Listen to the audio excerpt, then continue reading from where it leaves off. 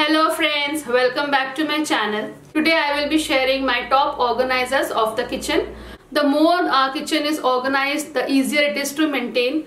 तो मैं तो हमेशा ये मानती हूँ कि जितना हो सके अपने किचन को ऑर्गेनाइज रखूँ, क्योंकि इससे डे टू डे लाइफ में काफ़ी इजी हो जाता है इनको हैंडल करना।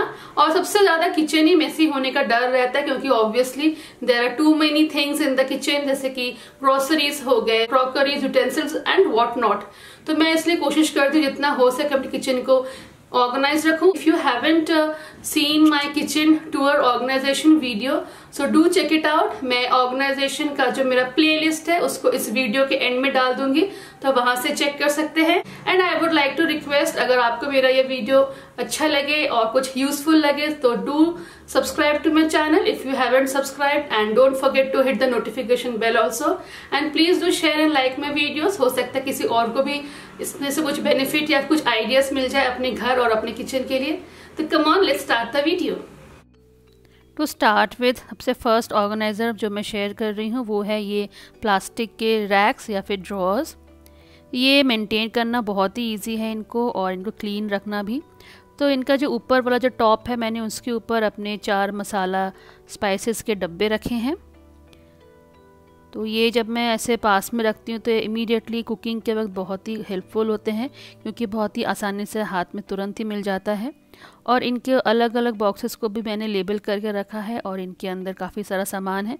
फॉर एग्ज़ाम्पल यह है इंडक्शन कुकिंग यूटेंसिल्स और यहाँ पे मैंने कुछ कढ़ाई रखा है। और ये है किचन टूल्स जो कि रेगुलर यूज़ में आते हैं। जैसे कि चॉपर हो गया स्ट्रेनर हो गया जूसर हो गया। तो इस तरह से ये एक बहुत ही हेल्पफुल एक ड्रॉर है। और इसको ज़रूरी नहीं कि हम किचन में ही रखें। अगर कभी इनकी ज़रूरत यहाँ पे ना हो तो we can use it in other rooms also तो in a way on the whole it's quite a helpful and a very important organiser in my kitchen next organiser is this chalk board label इसको मैं ऐसा organiser इसीलिए बोल रही हूँ क्योंकि ये मैंने जैसे कि यहाँ पे दाल को नेम करने के लिए यहाँ पे यूज़ किया है। तो I can very easily find them और उससे भी ज़्यादा जब ये ख़त्म हो जाएगा सामान तो आई नो कि किसके अंदर क्या जा रहा है। और इससे एक तो ये देखने में बहुत ही अच्छा लगता है बट ये ऑन द होल किचन को ऑर्गेनाइज करने में बहुत ही हेल्पफुल रहता है और अगर आप खुद भी किचन में काम नहीं कर रहे हो, अगर आपके कोई और फैमिली मेंबर किचन में काम करना भी चाहे, जैसे कि मेरे हब्बी अगर कभी कुछ ढूंढना चाहे तो उनके लिए बहुत ही आसान हो जाता है।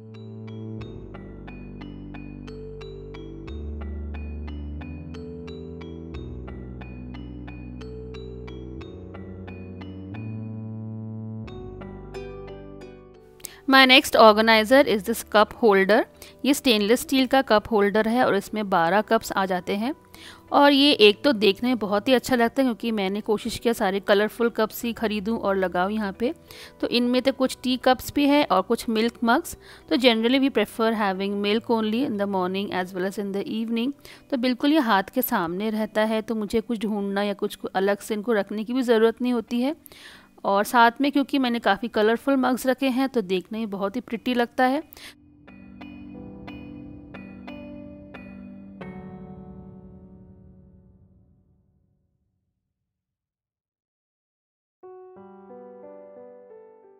नेक्स्ट है ये किचन यूटिलिटी ऑर्गेनाइज़र इसमें मैं लिक्विड डिटर्जेंट सोप फिर एक ब्रश रखती हूँ, जो कि मैं अपने चिमनी के फ़िल्टर्स या फिर कुछ और अगर क्लीन करना हो जिसमें ब्रश की ज़रूरत है तो उस, उसके लिए मैं उसको यहाँ पे रखती हूँ। और साथ में मेरा जो वाइपर है, जिससे मैं अपने किचन काउंटर टॉप और कुछ किचन का ही सामान को वाइप आउट करने के लिए यूज़ करती हूँ, साथ में यहाँ पे है स्कॉच ब्राइट रखने की जगह। Along with the steel wool तो ये एक तो देखने में बहुत अच्छा लगता ही है बट ये एक तरह से कॉम्पैक्ट लुक भी देता है मेरे किचन का जो सिंक एरिया है वहाँ पे।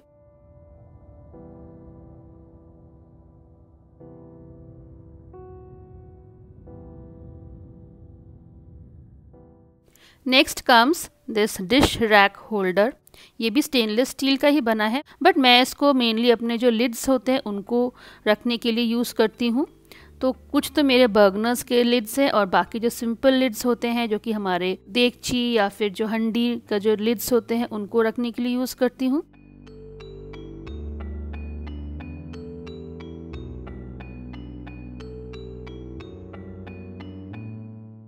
This is a kitchen knife and holder ये मैंने होम सेंटर से लिया था।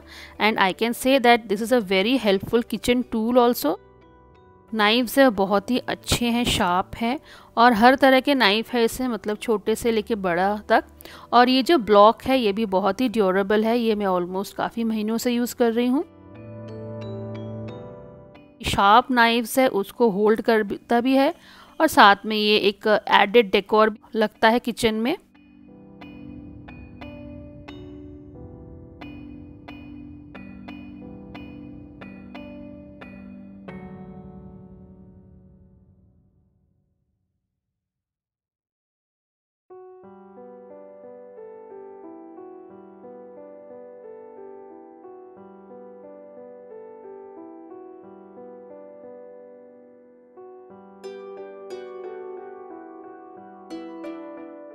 Next organiser is the stainless steel S hooks in hook की मदद से मैंने अब विंडो के ऊपर काफ़ी सारे मेरे पॉट्स एंड पैंस को हैंग करके रखा है।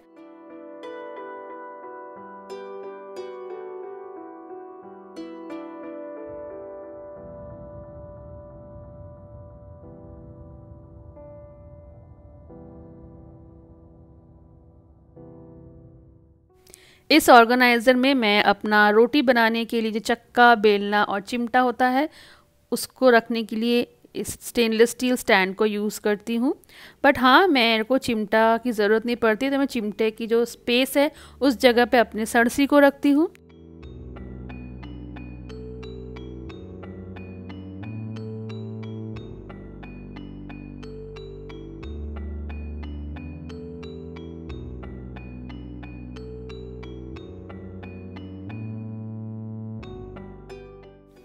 ये है garbage bag dispenser actually kitchen में जो मेरा डस्टबिन है, उसमें जो गार्बेज बैग की ज़रूरत होती है तो मैं उनको इसमें रखती हूँ।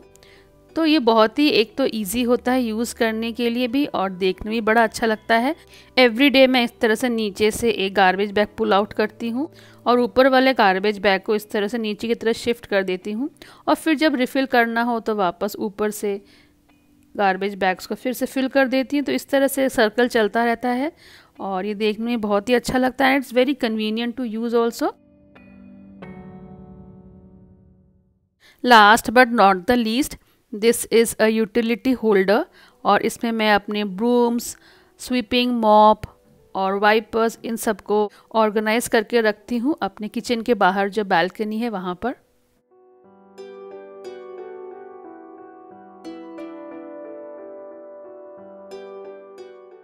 तो ये थे मेरे ऑर्गेनाइजर्स होपफुली आपको अच्छा लगा होगा ये वीडियो और कुछ न कुछ टिप्स एंड आइडियाज़ अपने घर के लिए भी मिल गया होगा।